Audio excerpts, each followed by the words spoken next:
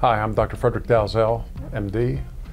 Uh, I'm an orthopedic surgeon uh, with a general practice in orthopedics, but I have a special interest in problems with the knee and shoulder, doing the latest techniques for knee surgery and shoulder surgery, both the conservative care with shots, medications, therapy, and also uh, minimally invasive surgery for knee replacement and uh, problems with the shoulder.